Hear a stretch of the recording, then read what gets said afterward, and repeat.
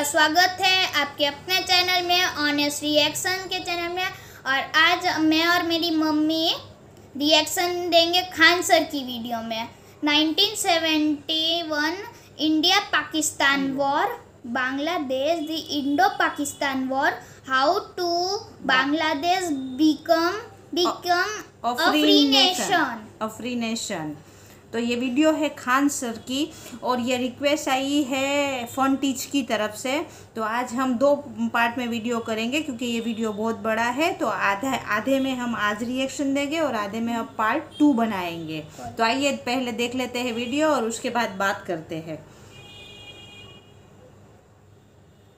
Start start जय हिंद। सबसे पहले एक वार्निंग भैया, पाकिस्तान के लोग इस वीडियो को न देखें तो ही अच्छा है। क्योंकि इस वीडियो में हम बताएँगे कि कैसे हमारे भारत के वीर सिपाहियों ने दो सैनिकों ने मिलकर पाकिस्तान के तिरानवे हज़ार फौजियों को घुटने टेका दिया था और दुनिया का सबसे बड़ा हार हुआ था और भारत के दो सैनिक मारे गए थे लोंगेवाला में। हम इस वीडियो में बताएँगे कैसे पीएनएस गाजी को डुबा दिया गया। ये भी बताएँगे कि चाइना पाकिस्तान का इतना बड़ा दोस्त बनता है, लेकिन उन्नीस सौ इकहत्तर में क्यों नहीं बचा पाया? न चाइना बचा पाया और ना ही अमेरिका बचा पाया। इस वीडियो में हम ए टू जेड बातें करेंगे। अगर आप इस वीडियो को कंप्लीट देख लेते हैं तो कोई भी पाकिस्तानी की हैसियत नहीं होगी कि आपसे आँखें मिला सके। इसलिए इस वीडियो को देखते रहिएगा। यदि आप राष्ट्रवादी, अगर आप भारतीय हैं तो ही इस वीडियो को देखें। पाकिस्तानी और बाहर के चाइनीज़ वगैरह लोग इस वीडियो को न देखें। ये उनके लिए एक तरह का वार्निंग है। क्योंकि इसमें हम भारतीय सेना के हर उस वीर गाथा को बताएँगे, जो एक हर भारतीय सुनना चाहता है। ए टू जेड उस बातों को बताएँगे।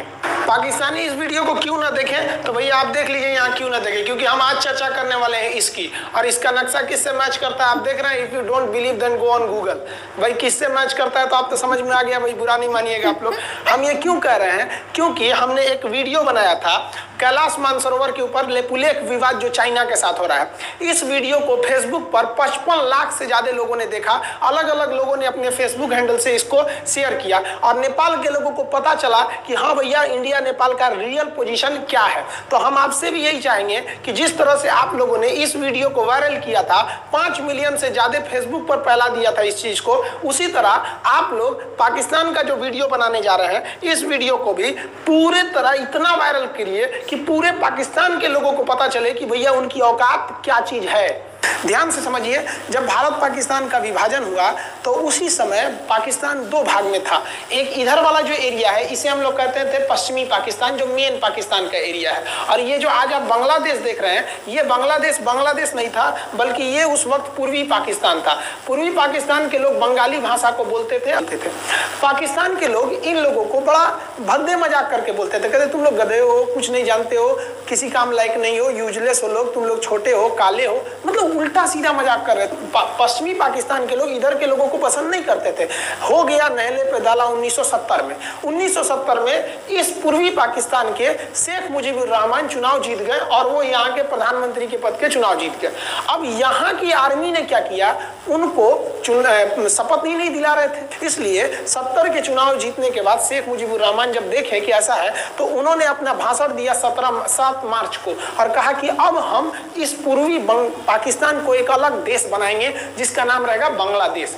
इस भाषण की वजह से आर्मी ने पाकिस्तान की आर्मी ने, ने 25 मार्च 1971 को गिरफ़्तार करके अब पश्चिमी पश्चिमी पाकिस्तान में अरेस्ट करके बंदी बनाकर रख दिया और यहाँ पर जुल्म करना चालू कर दिया। कहाँ पर? भाई तो पूर्वी बंगाल में। पूर्वी पाकिस्तान में, पूर्वी बंगाल में नहीं, पूर्वी पाकिस्तान में इन्होंने जुल्म करना चालू कर दिया। शेख मुजीबुर रहमान के गिरफ्तारी के विरोध में यहाँ मुक्ति वाहिनी नाम कर एक विद्रोही गुट तैयार हो गया था। लेकिन पाकिस्तान के, पश्चिमी पाकिस्तान के लोगों ने इस पूर्वी पाकिस्तान पे इतना भयानक जुल्म किया कि इस पूर्वी पाकिस्तान में, इस पश्चिमी पाकिस्तान के लोगों ने यहाँ पर 30 लाख लोगों को कटवा दिया। 30 लाख 30 लाख लोगों को कटवा दिया, चार लाख महिलाओं का बलात्कार कर दिया। अपने देश के चार लाख औरतों का रेप किया यहाँ पे। इतना भयानक वो दृश्य है कि अगर हम उसको यूट्यूब पे दिखा देंगे ना तो यूट्यूब हमारे ऊपर क्लेम करेगा, भैया, आप ये सब इतने भयानक दृश्य नहीं दिखा सकते। आप अंदाज़ा लगाइए इनकी क्रूरता का। ये अपने देश पर इतना भयानक जुल्म कर रहे हैं। इतना भयानक जुल्म किया इन लोगों ने। कि शेख मुजीबुर रहमान की गिरफ्तारी के बाद इस जुल्म का नतीजा ये हुआ कि अप्रैल 1971 तक भारत में यहाँ से लोग भाग के आ गए कि भैया हम ज़िंदा रहेंगे तब तो। और यहाँ 10 लाख लोग भारत में आ गए, शरण लेने कि भैया हमको बचाइए। तो इंदिरा गांधी जानती थी कि जब तक यहाँ शांति नहीं होगा, तब तक ये लोग वापस नहीं जा सकते थे। और शांति का एक ही था कि यहाँ पे घुस के इनको मारा जाए, ताकि ये पश्चिमी पाकिस्तान वाले लोग यहाँ पर सुधर सके। तो इंदिरा गांधी ने इसके लिए बात की general field marshal Manek Shah से। उन्होंने सेना प्रमुख मानेक शाह से कहा, सैम मानेक शाह से, कि आप अभी युद्ध कीजिए। हम आदेश देते हैं, आप अभी युद्ध कीजिए बांग्लादेश पे। हम अपने पड़ोसियों को इस तरह मरते नहीं छोड़ेंगे, आप इस पे हमला कीजिए। उस समय ये पूर्वी पाकिस्तान था। मानेक शाह ने कहा कि ना, हम हमला नहीं करेंगे। कही, अरे, क्यों? कहा कि आप महीना देख रही हैं? अप्रैल का महीना है। अप्रैल के महीने का मतलब बरसात का दिन सर पे है। और बरसात के समय पूरब का हाल क्या होता है? एकदम भयानक बाढ़ आ जाती है। और उन्होंने एग्ज़ाम्पल भी दिया कि सिकंदर की फौज भी हाथी लेके आई थी और कीचड़ में फंस गई थी कि अगर यहाँ हम लड़ जाते हैं तो यहाँ बरसात रहेगा, हम यहाँ उलझ जाएँगे। ये एरिया सूखा रहेगा, चाइना का ऊपर से एरिया सूखा रहेगा। ये हमला कर देंगे, हमको तीन ओर से लड़ाई लड़ना पड़ेगा। मानेक शाह ने इंदिरा गांधी से कहा कि आप दो तीन काम कर लीजिए। कब तक के लिए कि नवंबर तक हम लोग युद्ध नहीं करेंगे। लेकिन अप्रैल से नवंबर के बीच में हम अपने सैनिकों को इस एरिया में लड़ने के लिए ट्रेनिंग दे सकते हैं। मुक्ति वाहिनी उसको हम ट्रेनिंग दे सकते हैं। और इसी में 1971 में हमारी जो थी भारत और रूस की एक समझौता पर हस्ताक्षर हो गया। अब हम लोगों ने पाकिस्तान को एक बारूद के ढेर पर बैठा दिया था। इंतज़ार था तो इस, इस बात का कि उस बारूद में एक चिंगारी की और पाकिस्तान तबाह हो जाता। इत्तेफाक देखिए। उस बारूद के ढेर पर खुद चिंगारी जलाई पाकिस्तान ने। कैसे? तो समझिए कैसे? हम लोग का था कि इधर हम लोग ऑफेंसिव हो जाएँगे। मतलब इधर भयानक हमलावर हो जाएँगे और इधर हम लोग डिफेंसिव रहेंगे। मतलब इधर कम हमला करेंगे। ताकि हम लोग का मेन मकसद पाकिस्तान से युद्ध नहीं था। हमारा मेन मकसद था हमारे अपने बांग्लादेशी भाइयों पर जो जुल्म हो रहा था, जो उनकी बहनों को रेप हो रहा था, इतना भयानक किया था वहाँ पर पाकिस्तानियों ने कि बाप के सामने बेटी का रेप करते थे। और उसके बाद बाप को मार के कहते थे, तू भी रेप कर। इतना मतलब मानवता पूरी खत्म कर दिया गया वहाँ पर। तो भारत ने कहा कि इधर हम डिफेंसिव रहेंगे। पाकिस्तान को यह खबर लग गई कि भारत ना इधर कमज़ोर है अरे भैया, इधर हम कमज़ोर थोड़ी हैं, इधर कम सैनिक रखे हैं इधर हम भयानक रखे। हैं तो इसका मतलब ये थोड़ी है कि हम कमज़ोर हो जाएँगे। भैया, कहा जाता है ना कि सोनार के घर का कचड़ा भी बनिया के बादाम से महँगा बिकता है। देखिए, हम लोग ठंडी का इंतज़ार ही कर रहे थे कि पाकिस्तान ने गलती कर दिया। उसने तीन दिसंबर को अचानक हमला कर दिया श्रीनगर पे, पठानकोट पर, चंडीगढ़ पर, यहाँ पर आगरा, हवाई अड्डे पे तबातोड़ हमला कर दिया। एयरफोर्स का इतना भयानक हमला पाकिस्तान का भारत पर हुआ कि भारत देखते रह गया धड़ धड़ धड़ पाकिस्तान की जहाजें एंट्री मार गई सब भारत में। उसकी एयरफोर्स एंट्री कर दी। इतना भयानक हमला था, इतना भयानक कि भारत का एक भी सैनिक नहीं मारा। समझ रहे ना कितना भयानक हमला था? अरे भाई, आप यहाँ पर घुस जाएँगे हमारे देश में तो क्या हो जाएगा भैया? मूस मोटैन लोढ़ा हुई हाथी घोड़ा थोड़े हुई भारत तो इसी का इंतज़ार कर रहा था। देहात में कहावत कहा जाता है कि रोए के रानी तले अखिए खुदा गई भैया, हम प्लाने कर रहे थे कि हमला करने के लिए कि आप हमारे पे हमला करिए दीजिए। अब विश्व का भी दबाव नहीं आएगा हमारे ऊपर कि भैया, हमला तो आपने किया है। अब हम लोग छोड़ेंगे नहीं भारत। एकदम दृढ़ निश्चय कर लिया। इसी बीच पाकिस्तान को एक खतरनाक खबर लग गई। क्या थी खबर भाई? तो देखिए, पाकिस्तान को खबर लगी कि भारत की ज़्यादातर फौज इस पूर्वी पाकिस्तान की ओर डिप्लॉयड है। और यहाँ राजस्थान के जैसलमेर जिला में एक जगह है लोंगे वाला उस लोंगे वाला में केवल और केवल 120 फौजी हैं। और अगर पाकिस्तान ने सोचा कि 120 फौजियों को हम रातों रात मार देते हैं तो उस समय एयरफोर्स रात में लड़ाई नहीं कर सकती थी।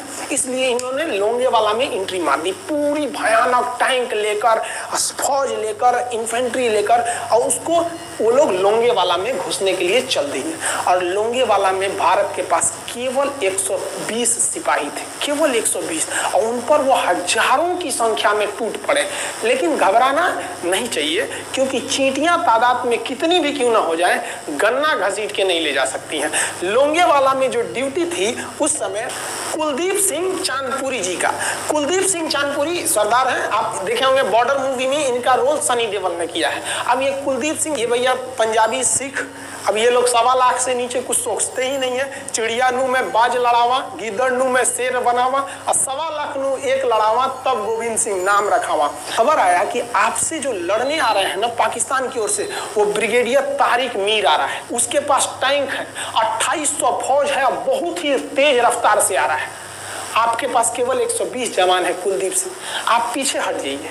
आप पीछे हट जाइए क्योंकि आपको हम आप बहादुर हैं इसमें नो डाउट लेकिन आप कैसे लड़िएगा उतनी भयानक फौज के पास यहाँ? उन्होंने कहा, खालसा सिख नहीं हट सकते हम। हम दिखा देंगे कि हम 120 भी उन पर क्या पड़ेंगे?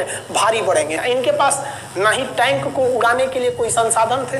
टैंक को मारने के लिए एक जीप पर लगा हुआ छोटा सा तोप था और इनके पास तीन ठो माइंस लगे थे। माइंस। माइंस समझते हैं आप लोग? टैंक जो होता है ना, बम, उसको उड़ाने के लिए माइंस लगाए जाते हैं। तो देखिए ध्यान से, ये है माइंस ये माइंस होते हैं। इस पर अगर टैंक चढ़ता है ना तो टैंक ब्लास्ट कर जाता है। तब इन्होंने दिमाग लगाया। इन्होंने क्या किया? जो खाली रेगिस्तान था ना, उसमें ना आगे की ओर तीन ठो ओरिजिनल माइंस को लगा दिया। और जो खाना खाने वाला टिफ़िन होता है ना, चार खंडे वाला इसे, उस टिफ़िन को इन लोगों ने रातों रात ना बिछा दिया। ऐसे लाइन से, देखिए लाइन से, पाकिस्तान की टैंक आई। तो शुरुआत में तो भैया ओरिजिनल माइंस था। धड़ाम से लगा पाकिस्तान की टैंक उड़ गई। पाकिस्तान का एक टैंक उड़ा, फिर दूसरा उड़ा, तीसरा उड़ा। पाकिस्तानी एकदम डर गए सब। ब्रिगेडियर तारिक मीर कहें कि भैया, यहाँ तो माइंस लगा के रखा है इन लोगों ने। एक काम करो इंजीनियरों को बुलाओ, पूरा माइंस निकालो। अब ब्रिगेडियर जो हमारे मेजर कुलदीप सिंह थे ये जानते थे कि बाबू अगर हम तुमको रात भर रोक दिए ना तो सुबह हमारी एयरफोर्स आएगी तुमको ज़िंदा नहीं छोड़ेगी इसलिए इन्होंने पूरा टिफ़िन बिछाया था इन पाकिस्तानियों ने छः घंटे लगा दिए उनको निकालने में इंजीनियर आते थे तो डर के मारे टिफ़िन निकालते थे सॉरी बाप रे बाप और टिफ़िन में तो ईटा पत्थर भर देते थे और डर के ले जाते थे भागो भागो भागो माइन से माइन से इसको लगाते लगाते इन लोगों ने पूरी रात बिता दी तीन बज गया। तीन बजे इनो इनको पूरा सन्नाटा दिखा कि भैया, ये तो टिफ़िन है। ये रेगिस्तान में ये तो टिफ़िन है। अब उन्होंने कहा कि आदेश दिया कि हमला करो। तो कुलदीप सिंह जो थे चांदपुरी, उन्होंने बालू के बीच में ऐसे गड्ढे बना रखे थे और अपने फौजियों को ना दो किलोमीटर एरिया में बिछा दिया था। एक उधर, एक इधर एक इधर।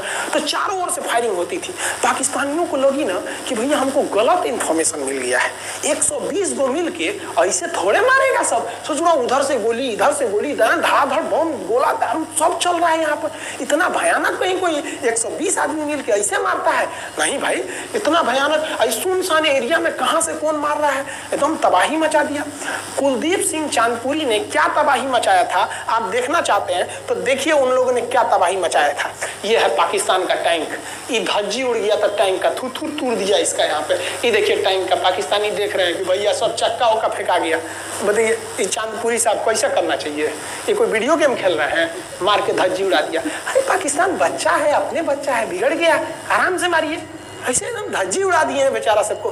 पाकिस्तान के टाइम को धज्जी उड़ा के उस पर भारतीय सैनिक खड़ा होकर फ़ोटो खिंचवा रहा था। फ़ोटो खींचे फ़ोटो खींच, उस समय सेल्फी नहीं था ना, आगे से फ़ोटो खींचना। फ़ोटो खींचिए आप आने वाली पीढ़ियों को ये प्रेरणा देगी।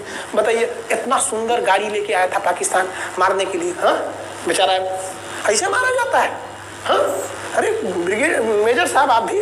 बच्चा है, बच्चा को थोड़ा आराम से मारिए। देखिए इसका, थोबड़ा बिगाड़ दिया गाड़ी का। ओहो। ऐसे नहीं मारना चाहिए। लेकिन क्या कीजिएगा? बच्चा बिगड़ जाता है तो धोना ही पड़ता है। ये हाल कर दिया। रात भर में, सोचिए, रात में इतना बुरा मारा। दिन में दिखता तो कुछ डाल रहा पूरा। एकदम भयानक तबाही मचा दिया। मेजर कुलदीप सिंह चांदपुरी ने। इनके आगे कौन खड़े थे? ब्रिगेडियर पाकिस्तान के। ब्रिगेडियर साहब ब्रिगेडियर साहब को कहने लगे, भैया, ये तो बहुत बुरा मार रहा है सब। तब तक हो गया सुबह। और सुबह के वक्त हमारे जो हंटर जहाज़ थे, उस समय जो जहाजें थी, वो हंटर जहाज़ थी। ये हंटर जहाजें रात में नहीं उड़ सकती थी, लेकिन दिन में उड़ सकती थी। रात भर तक कुलदीप सिंह चांदपुरी ने ऐसा कूचा पाकिस्तानियों को इतना कूच दिया कि भोर हुआ तो बाकी का कसर पूरा कर दिया हमारे हंटर विमानों ने। ये हंटर विमान जब आए सब तो इतना भयानक तबाही मचाए सब पाकिस्तान के जहाजों का कि आप हुलिया देखेंगे ना, पाकिस्तान के टैंक का इसे पड़ गया सब। टैंक पूरा तबाह हो गया सब। पूरी तरह ध्वस्त हो गया इतनी भयानक युद्ध में। तीन तारीख को पाकिस्तान ने हमले की शुरुआत की और ये चार तारीख का शकल देखिए पाकिस्तान का। इतना भयानक धज्जी उड़ा दिया पाकिस्तान का, जिसका कोई हद नहीं। पाकिस्तानियों को दुम दबा के भागना पड़ा, ब्रिगेडियर साहब भागे। कहें कि भाग भैया, न तो ये सब जान ले लेगा सब। हम लोगों ने पाकिस्तान के टैंकों को अपने यहाँ रख लिया है। म्यूज़ियम में आज भी जाके देखिएगा ना तो इन टैंकों को डर के मारे पाकिस्तानी छोड़ के भाग गए भागो भाई यहाँ पर। ये 120 जवानों का जलवा था। और पाकिस्तानी कहते हैं कि हिंदुस्तान के लोग क्या लड़ेंगे? अरे भैया, हम चीन पे वीडियो बनाए थे। आप पे नहीं बनाए थे जो आप लोग, हम लोग को बोल रहे थे कि पाकिस्तान हिंदुस्तानियों की औकात नहीं। देखिए, अभी हम आपको औकात दिखाते हैं आपकी।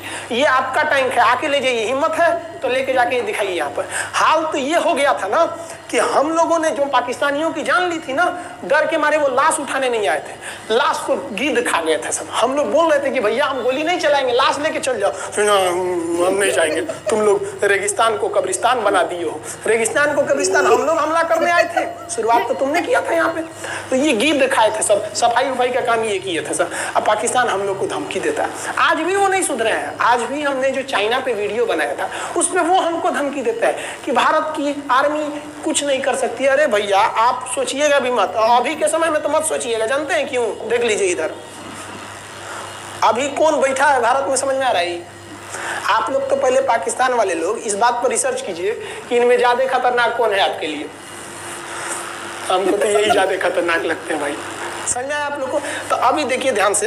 यहाँ पर पाकिस्तान ने जो हार हुई थी लोंगे वाला में, ये हार में पाकिस्तान की तो कमर टूटी और पाकिस्तान का पूरा मनोबल टूट गया कि ससुरा 120 गो मिल के ऐसे कैसे धो दिया सब। बताइए, इतना भयानक धो जाता है। तो ये शुरुआत शुरुआत तो इन्होंने किया तीन तारीख को, चार तारीख को हमने धो दिया। अब बचा नेवी। नेवी कहे कि भैया, आर्मी को मौका दिए, एयरफोर्स को मौका दिए, रात में आर्मी धोई, सुबह में एयरफोर्स धोई, हम नहीं धोएँगे क्या? हम भी धोएँगे।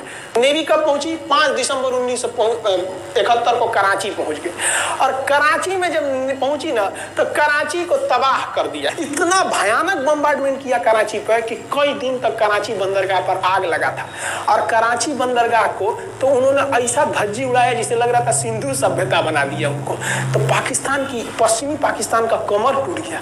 पाकिस्तान वालों ने कहा कि ससुरा सब बोल रहा था सर कि हम इधर डिफेंसिव है, यानी ज़्यादा हमला नहीं करेंगे। ज़्यादा हमला इधर करेंगे। ससुरा, इधर कैसे मार रहा होगा सब? अभी इधर भी बताते हैं कैसे मारा सब। ये कराची पहुँच गया। आप देखेंगे क्या हाल किया था सब कराची पे। कराची में जब मारा गया था ना इन पाकिस्तानियों को तो ये पाकिस्तानी भाग गए थे सब ग्वादर में। ये ग्वादर भाग गए। अभी इनसे ग्वादर भी जाने वाला है। पूरा राज्य चला जाएगा इनसे, बलूचिस्तान।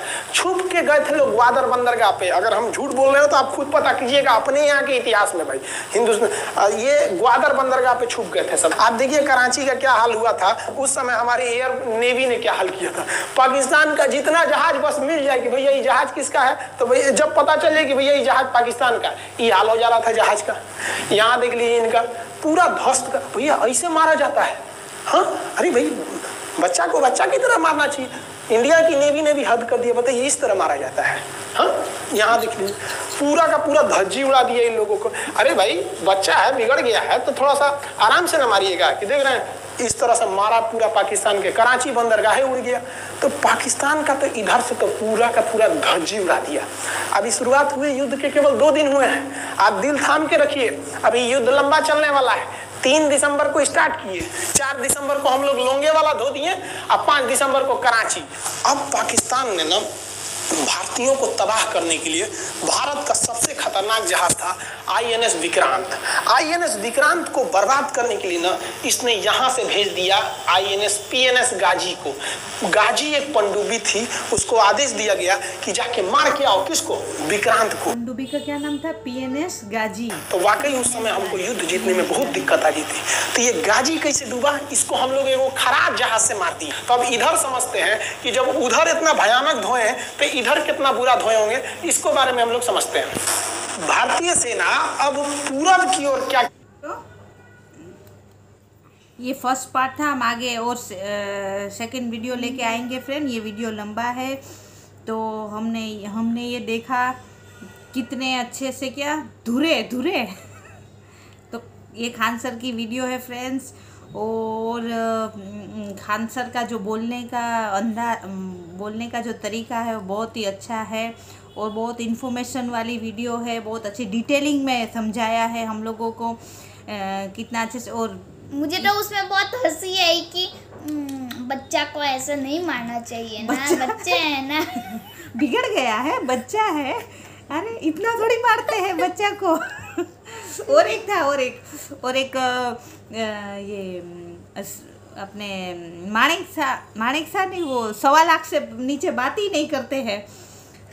और ये वीडियो बहुत अच्छा है फ्रेंड्स और सेकंड पार्ट हम लेके आएँगे दो तीन दिन में हम सेकंड पार्ट भी लेके आए आएँगे फ्रेंड्स और वीडियो में काफ़ी इन्फॉर्मेशन है। अच्छी और खान सर का जो बोलने का तरीका है इतना अच्छा है कि हमको एक्साइट करके रखते हैं और बहुत इतना सत्रह मिनट का वीडियो निकल गया पता ही नहीं चला फ्रेंड्स। इसमें दो चीज़ है। पहला नॉलेज और दूसरा एंटरटेनिंग कैसे एंटरटेनिंग किया और नॉलेज दिया?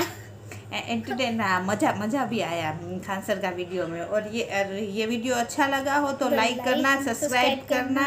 सब्सक्राइब ज़रूर करना फ्रेंड और सपोर्ट करना अ, और कमेंट्स भी कर सकते हो और आपको कोई रिएक्शन दिलवाना है तो हमको कमेंट्स भेजिए फ्रेंड्स आप लिंक भी भेज सकते हैं वीडियो की और सपोर्ट ज़रूर करिए फ्रेंड्स क्योंकि हमारा नया नया चैनल है और बाय बाय अब जल्दी मिलते हैं इसके सेकंड पार्ट में। और बेल आइकन भी क्लिक कीजिएगा ताकि हम लोग की जो वीडियो भेजे आपको नोटिफिकेशंस मिलती रहे। हाँ और सब्सक्राइब ज़रूर करना। खान सर बोले ना धूर देंगे। बाय बाय जय हिंद